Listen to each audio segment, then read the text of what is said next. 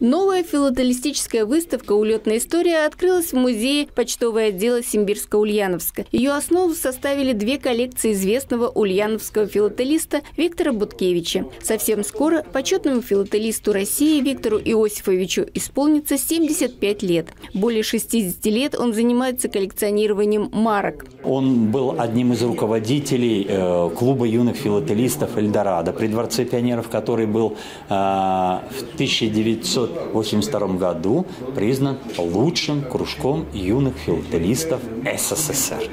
А, кроме того, он э, у нас экспонент, то есть у него есть несколько выставочных экспонатов, и он является, ну, как экспонент, он еще у нас и работает в жюри, э, он журист высшей национальной категории, у нас таких всего шесть человек. Выставка «Улетная история» прежде всего посвящена истории Ульяновской военной авиационной школы пилотов. Это интересная история улетной школы, которая, которая очень мало была известна где-то до 2010 года. Потом она начинала немножко открываться. Чем это было вызвано, трудно сказать. Но, наверное, тем, что у летной школы не осталось прямого наследника – в Ульяновске. А раз нет наследника, некому следить, некому вспоминать, в экспозиции есть конверты и марки с изображением тех курсантов, которые учились в этой летной школе.